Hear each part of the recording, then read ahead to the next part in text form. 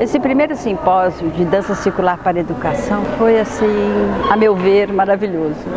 Eu sou uma das organizadoras, né, junto com três amigas, Adriana Aires, André Leoncini e Cristina Melvila Alonso. Eu sou Renata, de São Paulo. E nós sonhamos esse simpósio o ano inteiro. Foram muitas reuniões.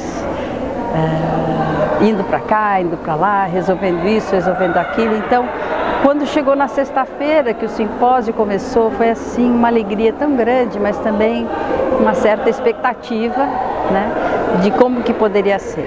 Era a primeira vez que nós estávamos fazendo um, um encontro tão diversificado, com momentos no Zoom, uh, momentos presenciais como esse, e também uma plataforma com todo o material, então envolveu assim um aprendizado muito grande da nossa parte. Então esses três dias assim do simpósio realmente que começou na sexta, sábado inteiro e agora domingo de manhã foram assim a finalização de um grande trabalho de um ano inteiro com reuniões, e reflexões e grandes aprendizados, muita risada, muita aflição também, mas nós estamos muito felizes. Eu, pelo menos, estou muito feliz, eu acredito que elas também, com o resultado que nós tivemos.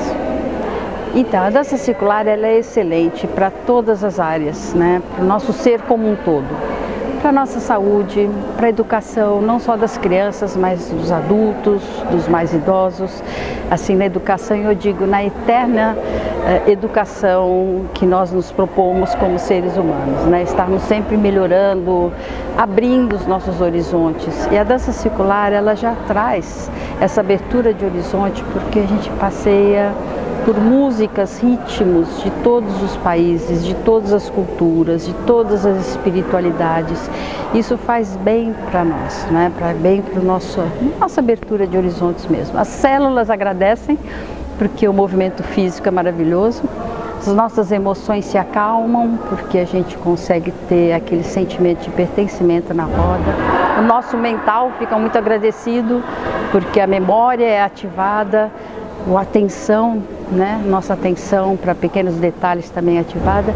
E uma das coisas mais importantes é que a gente acessa assim um, um nosso ponto mais quietinho lá, a nossa essência, eu posso falar que seja alma ou alguma coisa assim, é um ponto que de repente não, não, não dá para expressar em palavras, mas vamos dizer que seja a nossa parte espiritual. E sem fechar em nenhum conceito, é, fechado assim de, um, de uma instituição, de uma tendência, mas uma coisa muito aberta que todo ser humano pode entender. A dança circular é absolutamente aberta, generosa. Ela está aí para a gente poder realmente crescer com ela, numa abertura, no respeito à diversidade, num amor assim muito universal mesmo.